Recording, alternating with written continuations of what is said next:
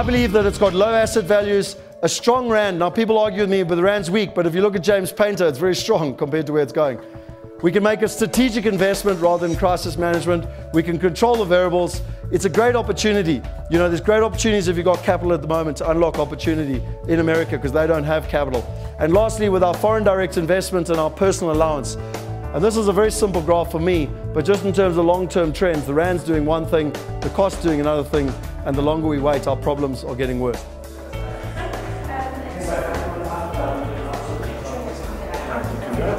Hi there, yes. I started looking at uh, US property investments um, at the end of last year, August, uh, September last year, and um, I got introduced to, to, and I attended one of Scott's, uh, Scott's uh, seminars, and um, I was quite fascinated about his passionate passion and energy he's got for, for the property industry, especially the US, and um, yeah, I then decided to go ahead and, and, and, and buy property over there, and we did that in August of last year, and uh, all on Scott's uh, Scott's advice and and, and, and their um, expertise in the field.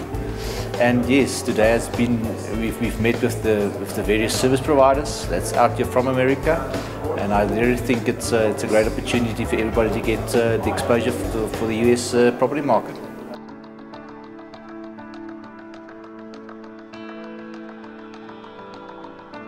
The eight reasons for America, it's a mature first world market. It's got a common language. If you've ever tried to invest in Spain or, or China, you'll know what I'm talking about. It's got well-developed property laws. It's got enormous size. One thing I really like about America, even over London and Australia, is that in Australia, as example, it's a small market, it's very transparent. Often if you find a good opportunity, it's already been seen by all the top Aussie investors already. Whereas America is massive. Do you know that we've got a Joburg is an MSA, it stands for Metropolitan Statistical Area. We've got about 15 in, in South Africa. There's 340 in America. Okay, it's a massive place. And so even if the opportunity in one place runs out, there's no reason why our partners who are you know, entrepreneurial by nature won't go and find another opportunity. I mean, we're, we're the, by far the premier uh, family destination in the world, and that's Disney's been our anchor for a long time, and it really kind of filters down to every other industry, uh, their level of service and the cleanliness and everything else. So that's just always the way the city's always been. The census projections for Florida are from, to expand from 18 million to 28 million in just the next 17 years. We're in 2013, so 17 more years. That has a lot to do with the baby boomers. Uh, you guys familiar with that term? It's basically the folks that were born after World War II who, are, who hit retirement age in 2011 is actually when they started. Uh, but they have that's just for the people that you know could afford to retire early or what have you. The majority of them are going to start retiring in the next five to 10 years. And what's going to happen is if they're no matter where they're from, northeast, northwest, wherever, most likely they're going to want to go where there's good climate, which we have obviously, uh, golf courses, uh, affordable housing, which we have, and uh, the important thing is no state income tax. The reason we, that we were able to do that, uh, as when other states can't, is because of our tourism. The hotels and all these uh, different uh, uh venues, we charge a higher tax to um, tourists, and therefore the residents of Florida, like myself, do, do not pay a state income tax. And the reason that's important is because all the baby boomers that are coming, their retirement dollars go further because they don't have a state income tax. They're used to that wherever they are, and their money just goes further with whatever their annuities are, whatever they're being paid is going to go a lot further. Um, Orlando Airport processes 50 million people uh, per year. Who here would just think that basically based on tourism, the market would be quite transient? You know, like a ski village, you know, people will come in and leave and the workforce will come in and leave. I think it's a pretty common, you know, I thought the same thing. So I told you the numbers for Vegas. I mean, Vegas basically used to have about 50 million people per year coming through. During the crash, it dropped to 20 million. Okay, currently it's recovered, it's at about 30 million. Okay, just to, just to where it is. So you can see the huge impact, like I told you in 2010, in terms of the people leaving and the impact on rental demand.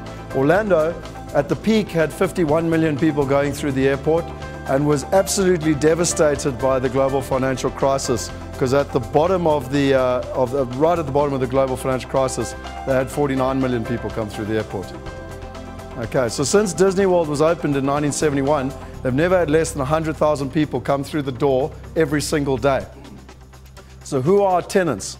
Our tenants are people earning thirty to fifty thousand dollars working in the theme parks, full time, long term. You know that that's who you're dealing with. And uh, today was very informative.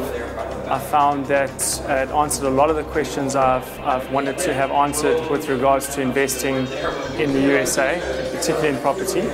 And for me, it's, it's really made it much more accessible to, to be able to invest and to be able to make decisions, informed decisions, and it's taken a whole lot of risk out of the equation, which before uh, was very, very afraid of.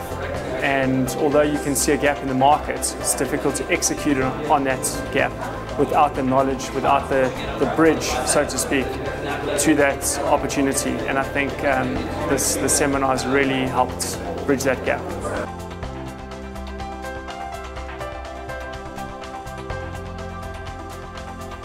It's easy to buy and sell. South Africa, plus minus three months if there's no strikes. Would you agree with me? Three months, yeah? America? How long? Four days. Four days to transfer property. You buy it on the Monday, you own it by the Friday. We tell South Africans it takes two weeks because you can't fill in the paperwork quick enough. It's easy to visit. We've got people in this room. I think Henny's on a 10-year business visa. Brendan's on a 10-year holiday visa. The bottom line is you can get 10-year visas, low taxes, uh, top 10 cities to invest in real estate according to Business 2.0. Uh, no major run-ups in the prices. It's a home to more Fortune 500 companies than Los Angeles. One of the top five rental return on investment markets in the U.S. The overall cost of living is 10% lower than the national average, and it also has no state income tax, just like Florida. 62% of the population in the city of Memphis rents. It's a major center for medicine and biomedical field. Uh, we have a five-year appreciation uh, currently of 18.76%. Memphis market typically over the last 10 years has increased 4%.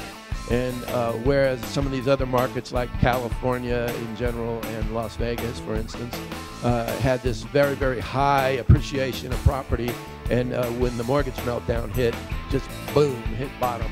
Uh, that didn't really happen in Memphis. Yeah, we felt the impact of the mortgage meltdown because the financing wasn't readily available for U.S. citizens anymore. But other than that, it, it didn't really hurt us too bad in terms of uh, the capital growth aspect. Now, it has the ninth most foreclosures, with 1 in 49 homes in foreclosure, according to RealtyTrac. Um, in, in, terms of affordable housing, it, it, it is also number one uh, for affordable housing for retirees. very informative workshop uh, organized by IPS. I run a small business on computer animation and I'm always looking for other opportunities or options to diversify whatever little money I have, looking for the future for me and my family. And today we heard about all the opportunities of investing in the States and more importantly, how to do that. And I think definitely the most important is the people that can assist us with that. I think that was a very, very valuable information for me because it's very daunting to try that, to do that on your own. But after attending here, I can clearly see people who I could work with, who could actually assist me and guide me on the right way and in the right areas to invest. So I'm really very optimistic about it, and now I must just get my ducks in a row.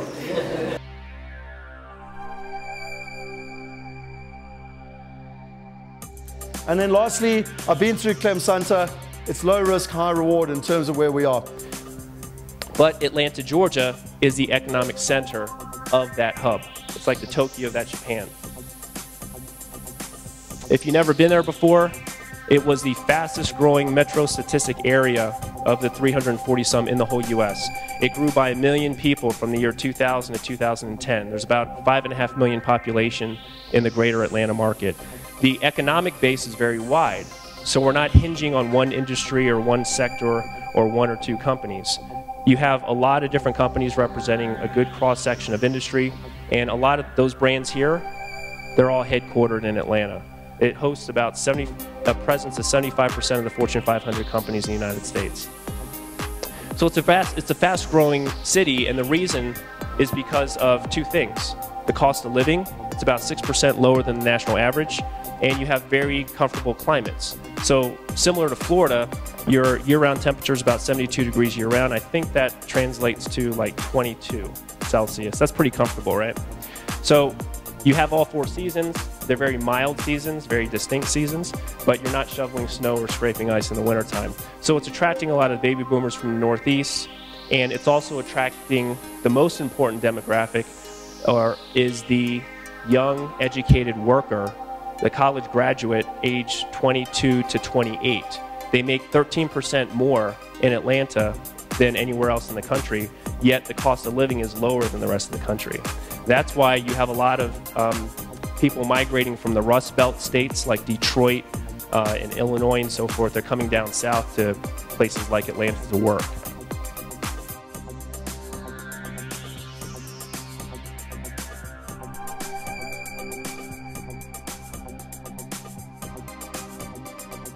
Uh, excellent. It's a very good day for me. Uh, most informative. I'm a South African living in Australia who's come back to uh, look at options and found it most informative. I got more out of this session here than the information I found in Australia about investing in the US.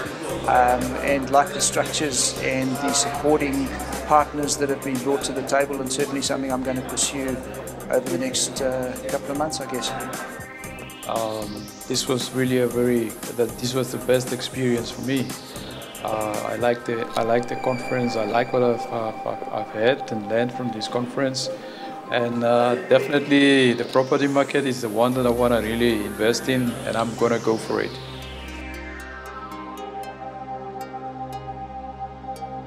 If I had a way of buying a couple hundred thousand single-family homes and I, and had a way of managing. The management is enormous. It was really a problem because they're one by one. They're not like apartment houses. So, but I would load up on them, and I would I would take mortgages out at very very low rates. But but uh, if if anybody is thinking about buying homes, five years ago they couldn't buy them fast enough because they thought they were going to go up, and now they don't buy them because they think they're going to go down, and interest rates are far lower.